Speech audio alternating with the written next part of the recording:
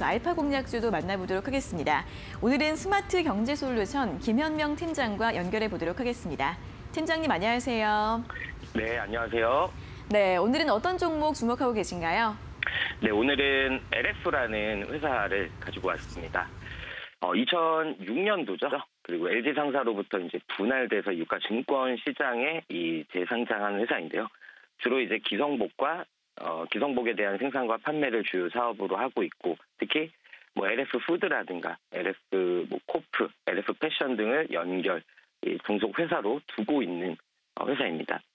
일단 기본적으로 LF의 1분기 우리가 매출을 좀 확인해 보면 영업이익은 전년 동기 대비 뭐 11점 매출액과 영업이익 11.1% 그리고 12.4% 증가한 이 매출액 4,425억 그리고 영업이익 309억 원에 어, 이를 것으로 어, 전망을 하고 있습니다.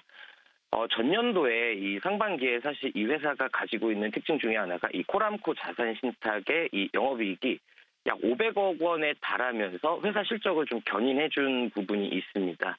어, 기저부담은 좀 있지만 그럼에도 불구하고 이 코람코의 실적이 안정적인 것으로 현재 이제 파악이 되고 있는데요. 어, 우리가 LF 집중해야 될 것 당연하게 이 reopening 관련해서 우리가 이 패션 업종들을 좀 지켜보고 있는데 그 중에 전통적으로 우리가 LF를 보는 게 이 중잔 중장년층 이 패션 브랜드죠. 뭐 닥스라든가 헤지스라든가 이런 그 브랜드를 가지고 있는 강점이 있고요. 종속회사를 통해 지금 뭐 식재 어, 유통업을 전개하고 있어서 어, reopening 관련해서 확실하게 실적적으로 우리가 이 수혜를 받을 것이라고 좀 예상을 하고 있습니다. 어, 기본적으로 이 디자인 역량 강화를 위해서 뭐 상해, 파리, 밀라노 그리고 뭐 뉴욕에 이제 디자인 스튜디오 운영을 하고 있고요. 닥스, 마에스트로 그리고 헤지스, 라푸마, 질스튜어트 등 우리가 이름만 들어도 좀 알만한 이런 브랜드들을 다수 보유를 하고 있다는 점이 이 회사의 굉장히 큰 강, 강점이라고 생각하시면 되겠습니다. 뭐 제품 단가 차이로 인해서 보통 뭐 봄, 여름 시즌보다는 가을, 겨울 시즌 이 매출 비중이 좀 큰 부분이 있는데요.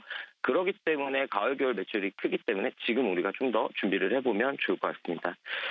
어, 앞서 말씀드렸던 이 코람코 이 사업 포트폴리오 강화를 위해서 이 동사가 2018년에 인수했던 이 코람코 자산 신탁의 경우 아까 말씀드렸듯이 탄탄한 실적을 이어가고 있다고 했는데요.